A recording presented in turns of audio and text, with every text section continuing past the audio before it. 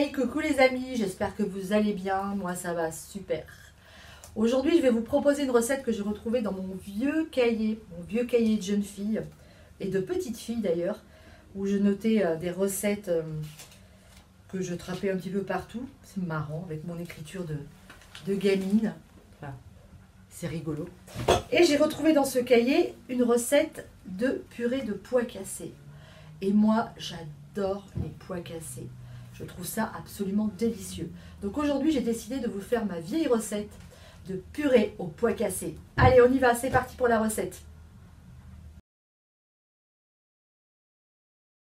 Pour ma soupe de pois cassés, il me faut du sel, du poivre, de l'huile d'olive, deux oignons que je vais couper finement, laurier, thym, trois pommes de terre que je vais couper aussi en morceaux, trois carottes coupées en morceaux, l'ail idem, et 500 g de pois cassés que j'ai rincés à l'eau claire plusieurs fois. Je commence par faire revenir mes oignons dans une belle grosse cuillère d'huile d'olive. Quand ils sont revenus, je mets mes pois cassés que j'ai rincés. Hein. On n'oublie surtout pas de les rincer. Ensuite, je mets de l'eau. Je vais bien couvrir ça, environ un litre et demi d'eau à peu près. Ensuite, j'ajoute mes carottes, mes pommes de terre et mon ail. C'est fait.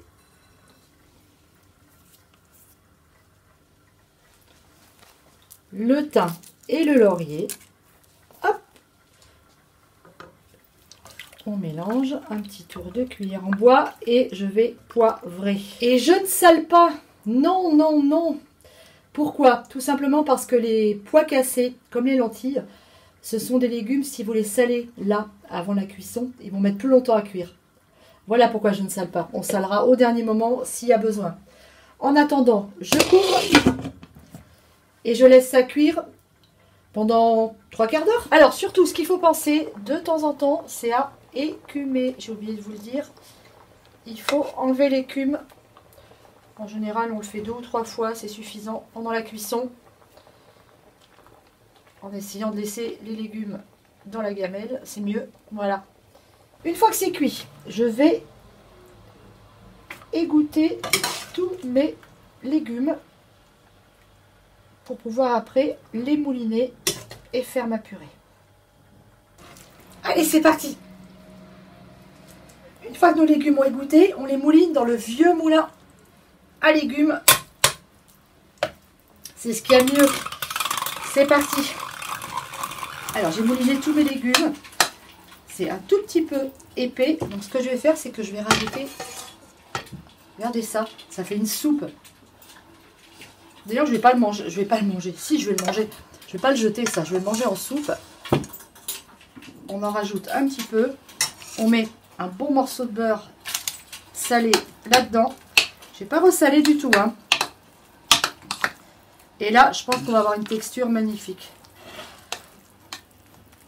Mmh. Pour accompagner ma purée, je vous propose de faire griller des petites tranches de copa. Moi, j'ai de la copa. Si vous avez du bacon, du jambon de pays, ça fera aussi l'affaire. Mais la copa, c'est bon quand même. Hein.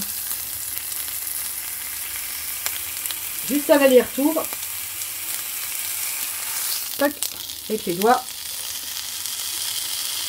Ça va être parfait. Bon, bah les amis, bon appétit. Hein. non, je rigole, je vais pas manger le saladier. Par contre, je vais la goûter. Elle est magnifique. C'est délicieux. Mmh. Bon appétit les amis. Je vous fais un gros bisou, n'oubliez pas. Et à très bientôt pour une nouvelle vidéo. Ciao